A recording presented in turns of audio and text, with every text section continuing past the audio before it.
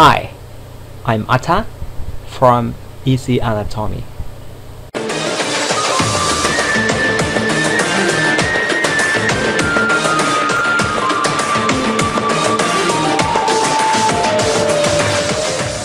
In this video, we are going to talk about the rhomboid muscles.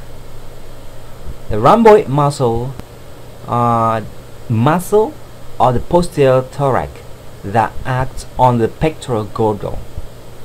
There are two rhomboid muscles, rhomboid minor and rhomboid major.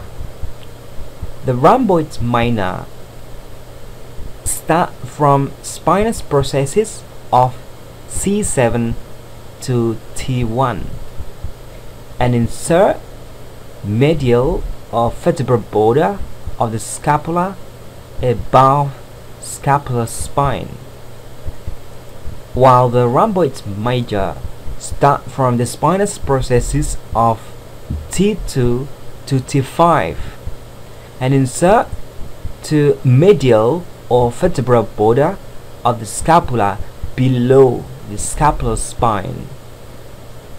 Nerve innervation for both rhomboid minor and rhomboid major uh, is uh, the dorsal scapular nerve C5 and this muscle axons would be stadius scapula morphs the inferior angle backward and upward.